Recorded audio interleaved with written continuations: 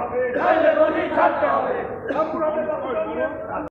রাজনৈতিক গণহত্যা ঘটছে কেন? রাজ্য সরকার জবাব দাও। একের পর এক কাউন্সিলর জনপ্রতিনিধি খুন হচ্ছে কেন? রাজ্য সরকার জবাব দাও। একের পর এক খুন হচ্ছে কেন? রাজ্য সরকার জবাব দাও। এই মুহূর্তে বিজেপির বিধায়করা বিধানসভায় ওয়াকআউট করেছে। কিসের জন্য এই ওয়াকআউট একবার জেনে নেব। কিসের জন্য এই walkout? দেখুন আমরা বারে বারে বলছি যে পশ্চিমবঙ্গের আইন শৃঙ্খলা ভেঙে পড়েছে, তার একটা প্রমাণ আমরা আর বীরভূমের শ্রীরাম রামপুর হাটে পেয়েছি। এর আগে আমরা দেখেছি যে পানিহাটির যিনি কাউন্সিলর রয়েছেন, অনুপম দত্ত ওনাকে জিরো পয়েন্ট থেকে গুলি করে হত্যা করা হয়েছে। পুরুলিয়ার ঝালদার ঘটনা ঘটেছে। সেখানে, বা রামপুর হাটে একজন উপপ্রধানকে ইয়ে করা হয়েছে, বোমা মেরে হত্যা করা হয়েছে। এবং আমরা দেখেছি, আমাদের এমপি আমাদের এমপি যিনি জগন্নাথ সরকার, রানাঘাটের এমপি রয়েছেন ওনার গাড়িতে বোমা ফেলা হয়েছে। এই যে পরপর ঘটনা ঘটে যাচ্ছে এবং আমরা দেখেছি যে জীবান্ত বারো জন মানুষকে যেভাবে পুড়িয়ে মারা হয়েছে, এইটা বর্তমানের যুগে আমরা আশা করতে পারি না। কিন্তু বর্তমান সরকারের সব জিনিসই সম্ভব।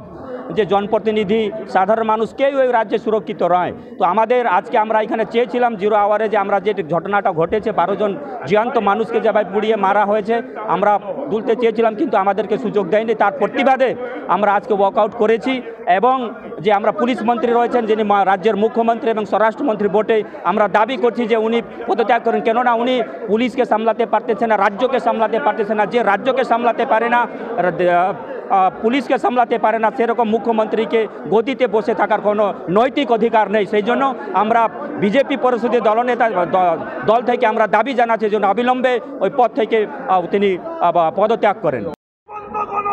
ঘটলো কেন? রাজ্য সরকার জবাব মধ্যযুগীয় বর্বরতায় বারো জনকে জীবন্ত পুড়িয়ে মারা হলো কার সাথে মুখ্যমন্ত্রী জবাব দাও। যেভাবে গতকালকে উপপ্রধান খুন হয়েছে নিশ্চিতভাবে সেই দলেরই যারা বিরোধী গোষ্ঠী তারাই এর খুনের পেছনে আছে বলে আমরা মনে করি। কিন্তু তৃণমূল তো মনে করছে যে বিজেপির এই যে আপাত নিশ্চুপ হয়ে থাকা এবং গতকালের খুনের পরে আজকের এই যে গোটা ঘটনার পেছনে বিজেপির হাত রয়েছে। পুরোপুরি মিথ্যা কথা যেভাবে বাংলাতে আজকে আমরা দেখলাম যে তুষ্টিকরণের রাজনীতি চলছে, সেই তুষ্টিকরণের রাজনীতি এবং গোষ্ঠী দ্বন্দ্বের ফলে এই ধরনের মৃত্যু হয়েছে এবং মৃত্যুর ফলে আমরা দেখলাম বিরোধী গোষ্ঠী যারা আছে, সেই গোষ্ঠীরা এই ধরনের ঘটনা ঘটিয়েছে। তিনি তো সবসময় বলেন, খেলা হবে। আসানসোলে গিয়েও বলেছেন, আজকে পশ্চিমবঙ্গের একজন পঞ্চায়েতের উপপ্রধান, জনপ্রতিনিধি, তিনি আজকে খুন হচ্ছেন। তার জবাব তিনিই দেবেন এবং প্রশাসন তদন্ত করবে তদন্তের সমস্ত কিছু বেরিয়ে আসবে। পুলিশ মন্ত্রীকে পদত্যাগ করতে হবে। রাজ্য জুড়ে বর্বরিচিত হত্যা হচ্ছে কেন? পুলিশ মন্ত্রী জবাব দাও। কলকাতা থেকে তপন নস্কর আস্তাক বাংলা।